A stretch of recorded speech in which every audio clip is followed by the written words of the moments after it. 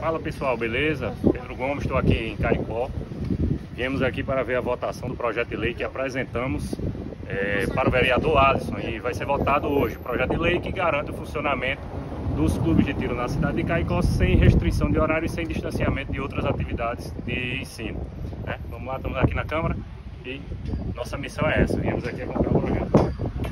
Fala pessoal, então estamos aqui, vamos entrar aqui no plenário, está tendo sessão agora. O que é que esse projeto beneficia a cidade de Caicó? Esse projeto, ele garante que aconteça o turismo esportivo né, na cidade de Caicó. Sabemos que tem eventos no estado, em competições que chegam a 300, 500 atletas competindo numa cidade, então isso traz, é, fomenta a economia da, da cidade, traz é, segurança também para a cidade, porque as próprias é, instituições de segurança, como Guarda Municipal e Polícia Militar, podem usar o ambiente do clube para fazer o seu treinamento e cada vez ficarem melhor para prestar uma segurança de qualidade à cidade da, de Caicó.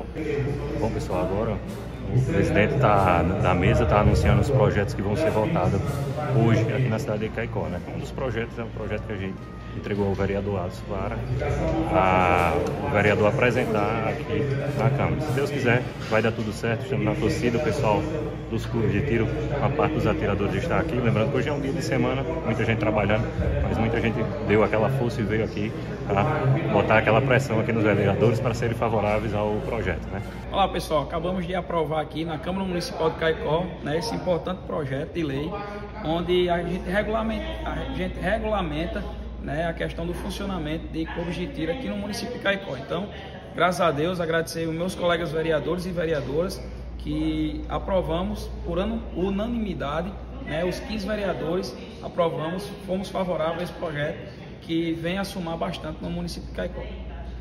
É, eu quero agradecer a Alisson, né, que foi o vereador que tocou o projeto aqui na Câmara de de vereadores aqui de Caicó, aos demais vereadores também, todos que foram favoráveis, que foram a favor da liberdade da cidade de Caicó, né? o direito de um esporte funcionar sem preconceito contra o esporte. O esporte é um esporte, não, não podemos ter preconceito.